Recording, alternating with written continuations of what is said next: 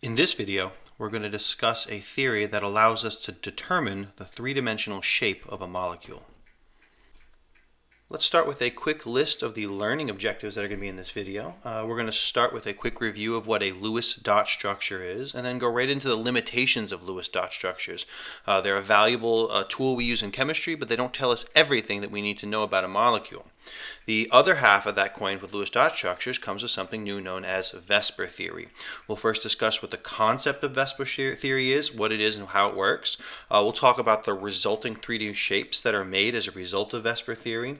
We'll then organize that information into what we'll call a VSEPR chart, a resource that you'll be using throughout the year. Uh, and last but not least, we'll end with some example problems allowing you to see a first glimpse of what it looks like to use VSEPR theory to create three-dimensional shapes of molecules. At the end of the day, the entire video is really about taking the three, a two-dimensional shape that we get from Lewis dot structures, like this shape right here for the substance ethanol, and translating it ultimately into a three-dimensional representation of what the molecule actually looks like. And again, as valuable as Lewis dot structures are to telling us connectivity in molecules, it's these three-dimensional shapes that really start to give us insight into the chemical nature of a substance. So let's start with a review of Lewis dot structures. The most important thing to remember about Lewis dot structures is that they are a two-dimensional representation of how atoms are connected together. And that's really the only information that a Lewis dot structure is capable of providing us. It's a simplified Bohr model configuration. So we take all the electrons from the Bohr model and focus only on the ones that are involved in bonding, the valence or outermost electrons. We then use that simplified Bohr model to identify lone electrons uh, because we know lone electrons where a is where a bond conformed, and then we know the configuration for the entire structure is complete when all the atoms are connected together and all atoms have reached an octet. If any of these details are unclear to you, uh, it's very important to make sure that you're comfortable with Lewis dot structures before you proceed. I very strongly recommend stopping this video, going back and watching the video on Lewis dot structures, and then coming back to this when you're a little more comfortable with the concept.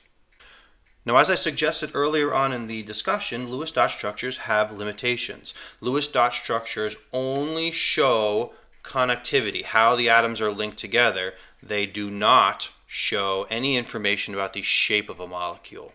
As an example of that, we can look at this substance over here on the left. We have a Lewis dot structure of this compound. Uh, the name of this compound would be 2-bromopropane. And we can see it has that special name because of the bromine atom here on the center carbon atom. We can draw this Lewis dot structure in this fashion as well. It certainly looks very different, but the name of this substance is 2-bromopropane. It is the same exact chemical. All the Lewis dot structure is telling us is that the bromine is connected to the second carbon in the chain, just like this bromine is connected to the second carbon in the chain. The fact that we drew it up here versus down here doesn't have any bearing whatsoever on the connectivity of this molecule. Clearly, however, where the bromine physically shows up in the molecule, whether on one side or the other, can potentially have an impact on its chemical behavior, which is why the Lewis dot structure, while valuable, doesn't provide us with all the information we need to understand the nature of a chemical substance. Enter the new chemical concept, VSEPR theory. VSEPR theory's job is to convert the two-dimensional Lewis dot structures that we've identified already into three-dimensional representations of the actual shape of the molecule. This is going to provide us with that extra information that uh, Lewis dot structures weren't capable of providing we'll be able to take the flat picture of ethanol here and convert it into this three-dimensional representation that we showed on the overview slide. We'll talk about the steps and processes to get there, but first, let's start with a discussion a little more about what VSEPR theory is all about. So as you might have guessed, uh, the term VSEPR, spelled very strangely, is actually an acronym for something more complicated. It stands for valence, shell, electron, pair, repulsion. And we'll actually talk about this theory in two separate parts. We'll talk about the valence shell part first. We'll talk about the electron pair part second. But all of them deal with this concept of repulsion, which is going to be the key idea to how this theory actually works. Let's talk about some of the major assumptions made in the theory that allow us to get to shape. First of all, the thing we'll say is that all atoms are surrounded by a shell of negatively charged electrons. And the fact that they're negatively charged is what's going to be important for us. All of those like charged electrons are going to repel one another. They're going to push apart. We learned that last year in physics. As a result, if you put these two things together, if the atoms are surrounded by electrons and the electrons repel one another, we can therefore say that the atoms in this compound are going to repel one another. They're going to want to push themselves apart. So let's tie all this together then and how the actual model works. The atoms in a molecule will arrange themselves as far apart as possible in order to reduce the repulsion forces between them. They're trying to minimize those repulsion forces. The arrangement of atoms, therefore, has everything as far apart as possible, is what defines the actual shape of the molecule. So when all the atoms in a molecule get themselves as far apart as they can possibly be, whatever shape we have at that particular point in time must be the final shape of the molecule itself because that's the shape that reduces the repulsion forces between individual atoms. Let's see if we can clarify that then by actually drawing one of the models and kind of walking ourselves through the process of VSEPR theory. So we'll start with something relatively simple. Uh, we're going to use this terminology up here, this AX terminology, to identify VSEPR shapes. Uh, we're going to think of VSEPR shapes as always having a central atom, and we're going to denote those with the letter A, and we're going to have a certain number of atoms connected to that central atom. And as you'll see as we talk about this more, this really kind of hovers around this central atom concept. Now the formula here, this generalized formula, is basically going to represent any compound with a central atom and two things connected to it. So let's see if we can draw a picture of what that's going to look like. Uh, we'll start with our central atom A. We'll draw a circle and label the letter A. Uh, we'll attach two other atoms to it labeled X and X. Now, we can imagine that these X atoms are free to rotate wherever they want around this central atom. But keep in mind, they are also surrounded by that field of negatively charged electrons. So we've got negative electrons here, and we've got negative electrons here, and as a result, the repulsion forces are going to push these guys afar, apart in this particular direction. They're going to keep moving apart until they get as far apart as they can possibly be, resulting in the new shape that's going to look like this. If we arrange the two X atoms at an angle of 180 degrees to one another, there's no direction that they can now move in, either this way or this way, that'll get them any further apart. If they start moving in either of these two directions, they'll start getting closer together. The repulsion force in that side of the molecule will increase and it'll push them back in this other direction again. The end result is we figured out the furthest possible place that these two elements can be from one another in order to result in a minimized, um, minimized repulsion forces. And this must be the three-dimensional VSEPR shape for any molecule that has this particular configuration, AX2. Uh, as an example, we could think of the molecule carbon dioxide, for example, with the central atom being carbon and two oxygens attached. We would describe this as this particular shape, and later on we'll talk about the fact that these shapes also have names. This molecule is known as a linear configuration. Now, so far, we've all only talked about one part of VSEPR theory, and that is the part involving the valence shells. Uh, valence shells, if you haven't already figured out, are basically the atoms involved in the shape of a molecule, and we have finished that conversation. The second part of the discussion we haven't talked about yet is this part right here. Electron pairs also play a role in this process, and as I said before, everything is involved in repulsion. So let's start talking about the effect that electron pairs have on the shape of a molecule. So electron pairs on the central atom, and I cannot stress this statement enough, there's going to be a lot of electron pairs that are not necessarily important for us. It's only the ones that are actually on the central atom itself. But electron pairs on that central atom also repel other electron pairs and valence shells. This means that these electron pairs act as a place in the VSEPR shape, just like the three X's in our previous model represented locations in the actual molecule. An electron pair is going to occupy one of those locations. But even though it takes up a location, it's going to leave a gap in the actual picture. As opposed to getting a three atoms evenly distributed about the molecule, we're going to get those atoms distributed in a different place because our electron pair is going to be pushing them around just like other atoms would do. So let's take a look at what that might look like in an example. And the first example we'll come across with an electron pair in it is going to be in any molecule that has what we'll call an AX2E configuration. Uh, e, as we've already kind of suggested, stands for electron pairs on the central atom. So the way we identify electron pairs on the central atom is by drawing Lewis dot structures first.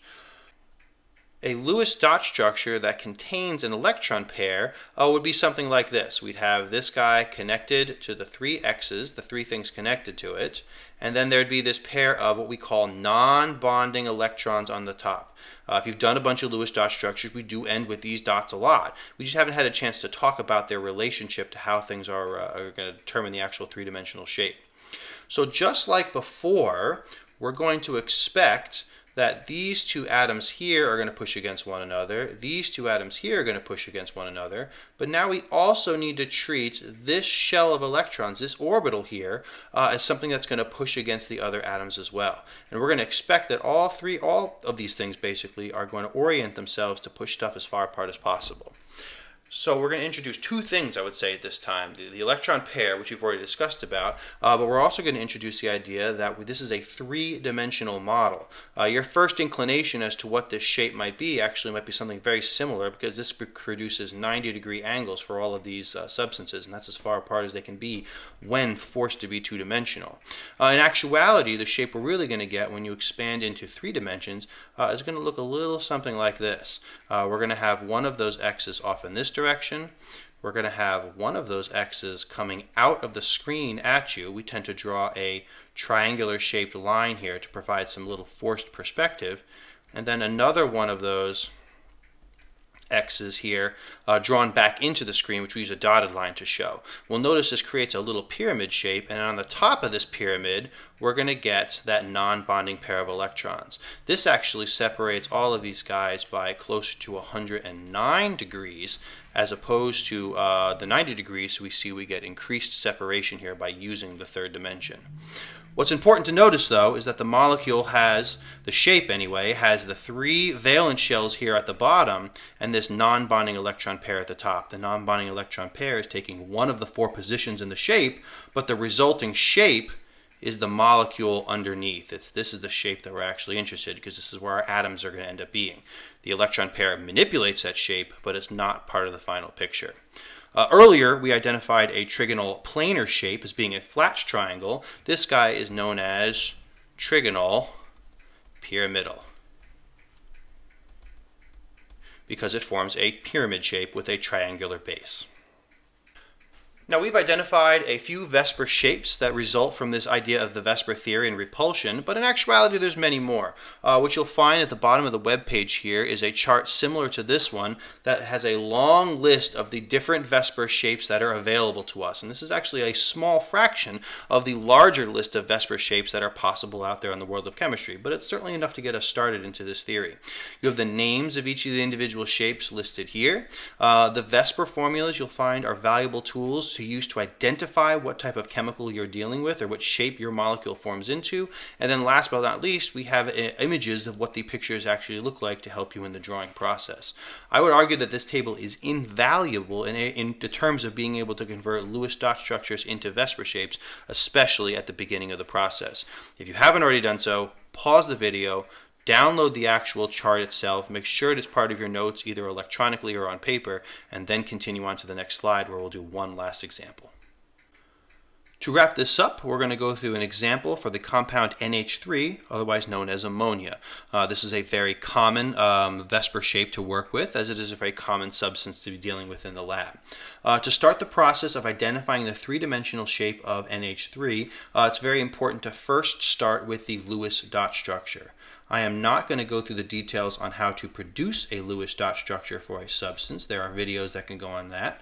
Uh, however, when you're done, you're going to get a structure that looks like this right here. Nitrogen started with five electrons that made one pair here on the central atom and three open spaces to attach these hydrogens to, and that's the Lewis dot structure we have. Here's now where you'll take some time to reference your VSEPR chart to figure out what it is we're dealing with. You're going to want to translate the information in your Lewis dot structure into one of these VSEPR formulas, these AX formulas. We have a central atom, nitrogen, which is our A. We have three hydrogens attached to it, creating the formula AX3, but we also have this non-bonding pair of electrons on the central atom, which creates an E. So this is an AX3E formula. If you recall from earlier on, the AX3E configuration refers to a trigonal planar substance, and the picture of that is this picture right here. All we need to do is redraw our Lewis dot structure with this particular picture and we'll have a three-dimensional representation of what our molecule looks like. We'll put the nitrogen in the center again. We'll draw that triangular shaped bond to denote that the first hydrogen is coming out of the board towards us. The second bond we'll draw using the dotted lines and the third bond we'll draw using the bold line to represent that it's in the plane of the board. And we'll add in the pair of non-bonding electrons to the top. And now we have an accurate representation of the three-dimensional shape uh, of, the form, of the compound ammonia. And that's about it. Uh, at this point in time, you should be able to describe what the purpose of VSEPR theory is, to generate three-dimensional shapes out of two-dimensional Lewis dot structures. Uh, you should be able to describe very briefly how a VSEPR shape goes about doing that, uh, the idea that it's minimizing repulsion forces. And then most importantly, I would say out of this whole list, uh, you should be able to apply VSEPR theory. You draw the Lewis dot structure first, you reference the structure to something on your VSEPR chart, and then you redraw the shape of that molecule in a three-dimensional plane uh, with the information from your VSEPR chart itself. We obviously will spend time practicing this theory in class, but generally speaking, uh, once you get an idea of how the theory works, application of it tends to be relatively simple and figured out with just a couple practice problems.